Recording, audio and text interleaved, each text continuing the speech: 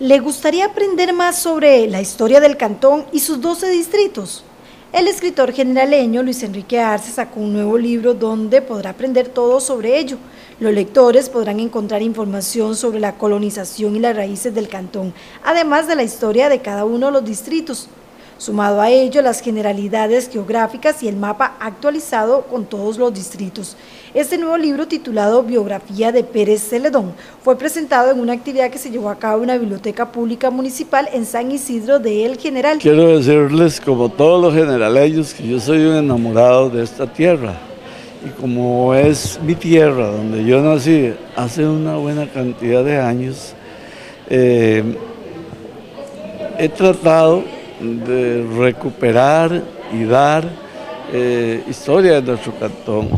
Este libro, Biografía del Cantón de Pérez Celedón, es un libro actualizado de datos eh, de uno que salió en 2004, pero aumentado porque ahora hay un distrito nuevo, porque hay eh, otras necesidades informativas que, necesitábamos que incorporar en este libro biografía de Pérez Celedón y sus distritos. Su publicación coincide con la celebración del cantonato de Pérez Celedón que será el 9 de octubre. Y además que estamos en el mes de la celebración del cantonato.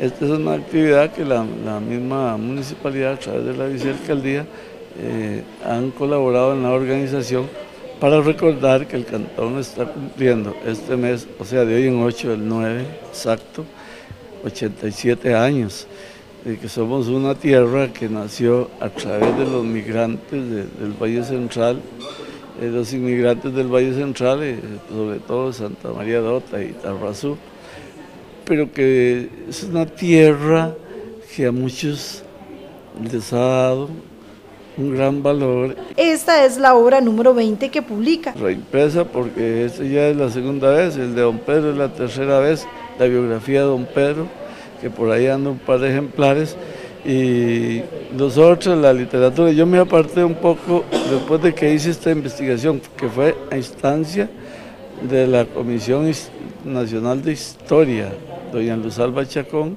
en aquel tiempo.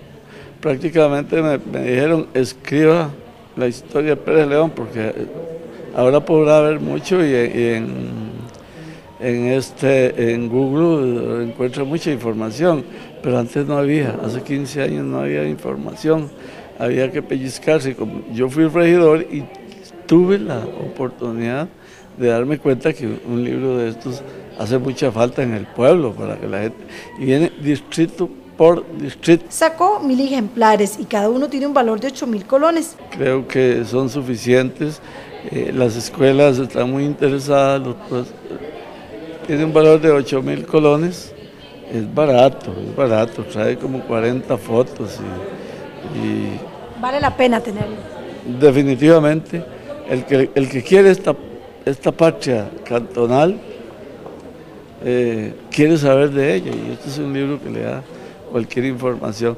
Yo he recibido muchísimo reconocimiento verbal de algunos estudiantes o profesores de que este libro en su momento cuando salió la primera edición en 2004, les ayudó muchísimo en la redacción de sus tesis para el marco teórico, para toda este, esta información que se necesita. Si usted está interesado en adquirir este libro, lo puede conseguir con Tobías Navarro al número telefónico 2772 6595.